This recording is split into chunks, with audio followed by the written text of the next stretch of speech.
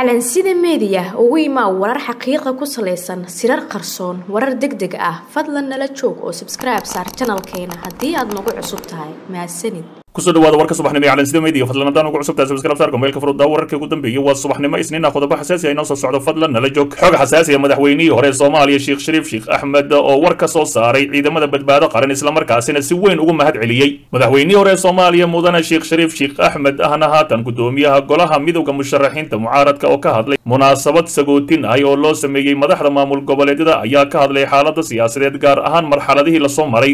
sheekh shariif sheekh axmed ayaa marka hore shaaca ka qaaday inuu soo dhoweynayo heshiiskii taariikhiga ahaa ee laga gaaray doorashooyinka soomaaliya ee laba kun kow iyo labaatanka kadib wadahadallo toddobaad qaatay oo ka qabsoomay teendhada afisyoone ee magaalada muqdisho. Sidoo kale wuxuu tilmaamay in laga hortagay in dalka uu galo dagaal sokeeya sidaas daraaddeedna loo baahan yahay in laga wada shaqeeyo horumarka soomaaliya. Madaxweynihii hore ee dowladdii ku-meelgaarka aheed ee soomaaliya sheekh shariif sheekh axmed ayaa sidoo kale bogaadin u jeediyey ciidamada qalabka sida gaar ahaan kuwii mucaaradka ee la magac baxay badbaado qaran iyo cid kasta oo ka qayb qaadatay in heshiiska la gaaro maadaama ciidamadii badbaado qaran ay ka hortageen muddo kororsigii madaxweynaha wakhtigiisa dhammaaday oo ku doonayay in dalka oo muddo dheer kursiga ku sii haysto. Waxaan u mahad celinayaa cid kasta oo ka hortagtay in dalka uu galo dagaal sokeeye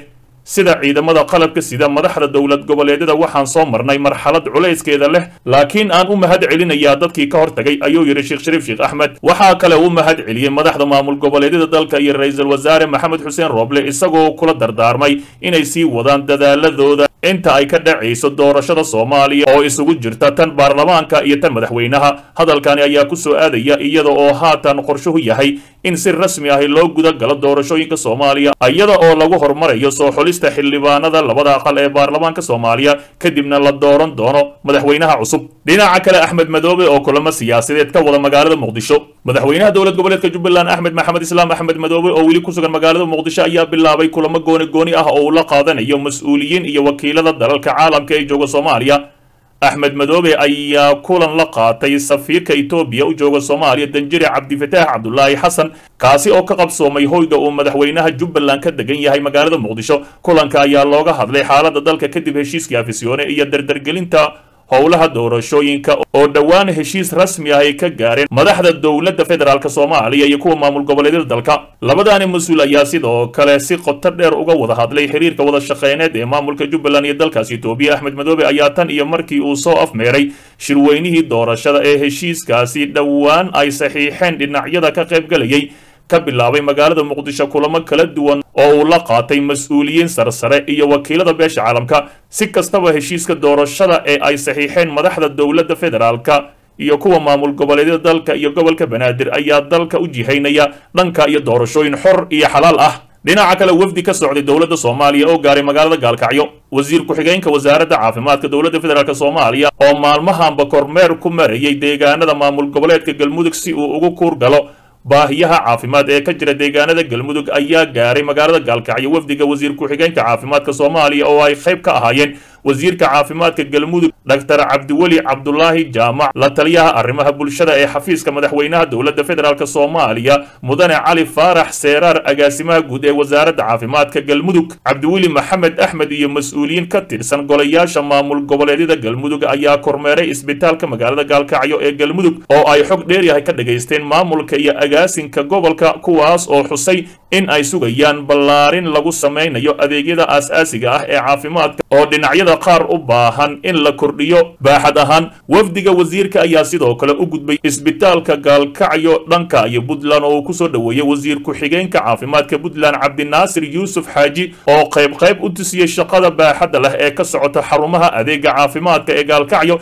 iyo horumarada ay ka sameeyeen adeeg bixinta muddooyinkii u dambeeyey fadlan dib u daaw wararkeenii hore ee calansida meediya xog xasaasiya ra'iisul wasaare rooble oo awood cusub ku wajahaya xubno farmaajo ku darsaday guddiga doorashooyinka islamarkaasina xubnihii uu farmaajo ku darsaday ayuu gebi ahaanba ka saaraya guddigaasi qoraal kooban oo ka soo baxay xafiiska ra'iisul wasaare rooble ayaa duhurnimadii maanta waxa uu ku magacaabay guddi heer wasiire ah. Ra'iisul wasaaraha dowladda federaalk soomaaliya mudane maxamed xuseen rooble ayaa guddigani heerka wasiire ahi u magacaabay inay ka shaqeeyaan xaqiijinta caddaymaha xubnaha guddiga maamulka doorashada ee labada heer ee ay cabashadu ka jirto sida ku cad qodobka koowaad ee heshiiska golaha wadatashiga qaran ee doorashooyinka dalka lagu heshiiyey midowda musharaxiinta mucaaradka ayaa horay ashtako uga keenay guddigaasi oo ay sheegeen inay saraakiil nisa ka tirsan iyo shaqaalaha rayidka ahi ay ku jiraan guddigii la magacaabay inkastoo maxamed xasan ciro guddoomiyaha guddigaasi uu horay u sheegay inaysan jirin shaqaale rayid ahi iyo nisa xubno ka tirsan.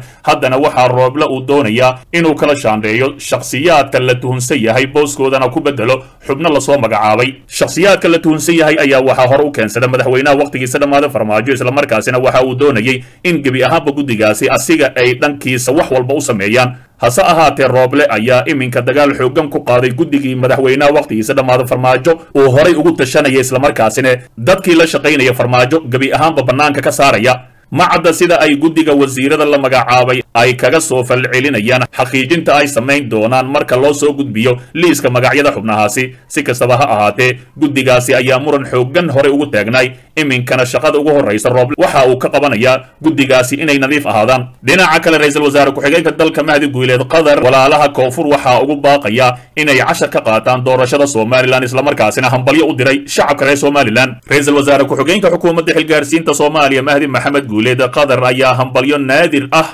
u diray shacabka somalilan ee berri u dareeraya doorashooyinka baarlamaanka iyo golayaasha deegaanka isagoo khudbad ka jeediyey warbaahinta dowladda federaalk soomaaliya ayuu mahdi guuleed doorashada somalilan ku tilmaamay ilbaxnimo isagoo tiriyey goobaha ay doorashadu ka dhacayso iyo musharaxiinta ku tartamaya doorashadaasi somalilan. Waxaa qayb ka soo ahaa doorashooyinkii somalilan laba kun iyo kowdii ilaa laba kun toban iyo toddobadii walaalaha koofureed waxaan ugu baaqayaa inay cashar ka bartaan sida xorta ah oo qofka muwaadinka uu codkiisa u dhiiban karo. Doorashada ku soo aadan laba kun iyo shan iyo labaatanka inay muwaadiniinta soomaaliyeed xaq u yeeshaan inay doortaan xildhibaanka iyo madaxdooda ra'iisul wasaare ku-xigeenka soomaaliya u rajeeyey somalilan inay is-aqbalaan oo qaataan natiijada doorashada ka soo baxda ay aqbalaan madaxda lagu doorto islamarkaasina hambalyo naadir ahi hawada u marsiiyey shacabka reer somalilan dhinaca kale guddoomiyaha aqalka sare cabdi xaashi cabdulaahi oo booqasho ku tegaya dalkaasi bakistan guddoomiyaha golaha aqalka sare ee baarlamaanka federaalk soomaaliya mudane cabdi xaashi cabdulaahi ayaa wada hadallo saacado badan qaatay oo dhinaca telefoonka ahi la yeeshay dhigiisa dalkaasi bakistan sadiiq sanjarani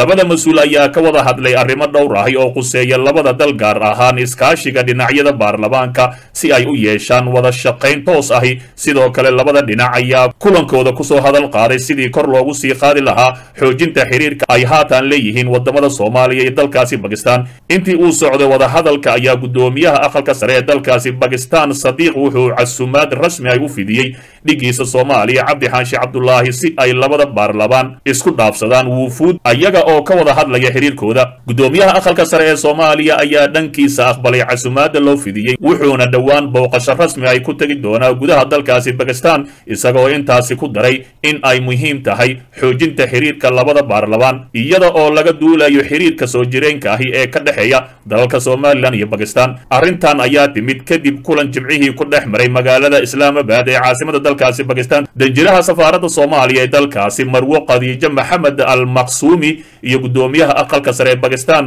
master sadiiq sanjarani. Soomaaliya iyo bakistan ayaa waxaa ka dhexeeya xiriir qoto dheer iyada oo labada dal